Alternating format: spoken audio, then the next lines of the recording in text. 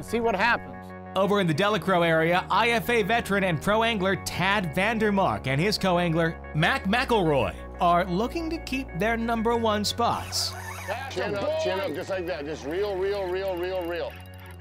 Come on, chin up, chin up, chin up, chin up.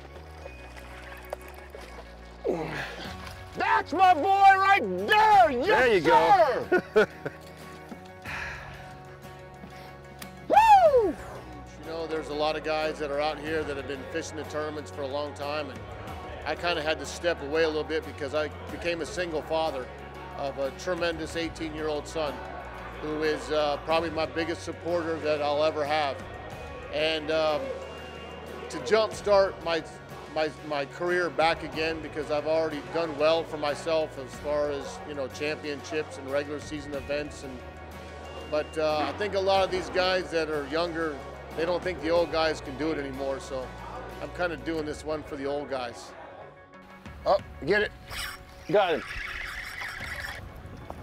Ah, uh, he's too big, I think. Oh, maybe not, maybe not. Maybe not. St start fishing, bro. All right. I'm in the mud. Oh, yes. He, he's in 26 and a half, baby.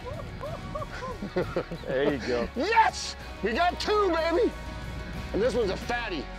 Almost eight pounds, bro.